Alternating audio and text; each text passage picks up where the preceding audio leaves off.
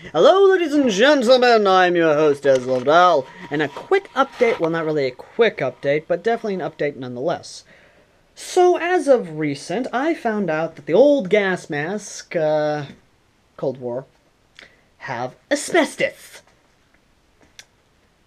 Thankfully enough, I did not take a breath of the actual uh, CM1 gas mask that I got because Oh, that would have been fun. That'd be fun having to go to the hospital and make sure I don't got lung cancer. Which I might still make an appointment and make sure I don't have lung cancer, but hey, who knows? but yes, what does this mean? It means that I will not be using any of the old filters that come with the gas mask. I will be doing what I do best, which is basically running around with just the gas mask itself. No filter which I know a lot of you will respect my wishes and want me to not have cancer. And before a lot of you say, oh, it's only done after a certain year, I don't care. I'm not going anything anywhere near asbestos because a lot of the men in my family died of asbestos related cancers, and I don't want to die. I don't want to continue that trend. Thank you very much.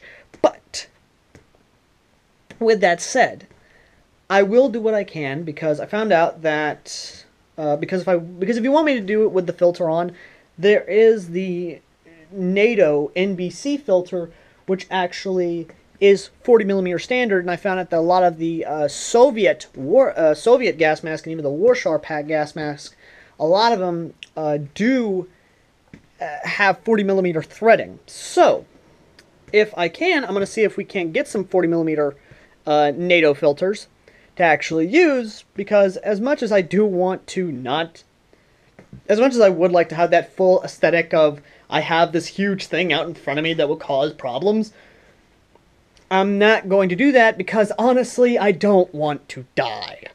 So, if you guys want to help out, contact my buddy Tony down below, and he and you and through him we'll be able to get some of these ma- we'll be able to get some of these filters, and then of course uh, or at least something along that nature. We could. I, I will greatly use your help, guys. I really will.